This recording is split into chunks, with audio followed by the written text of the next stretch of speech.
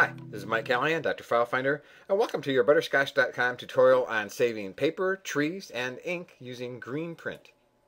Now once you've downloaded and installed Greenprint, and I've provided links for that in the show notes, you'll see that Greenprint installs itself as your printer.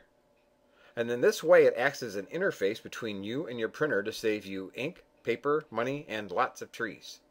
So the best way is to show you. So let's say there's something right here at the top of the butterscotch.com page that I want to print. So I click File, Print. Now you can see here it shows that Greenprint is my printer, and that's okay. It's a good thing. We'll click OK, and now Greenprint is analyzing the page I asked to print.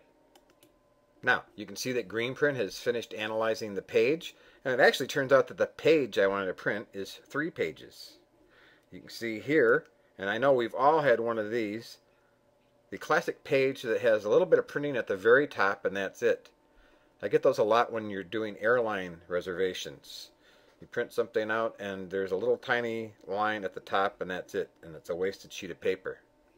With Greenprint, we'll go over here, you can right click and you can say remove the page and it turns a different color.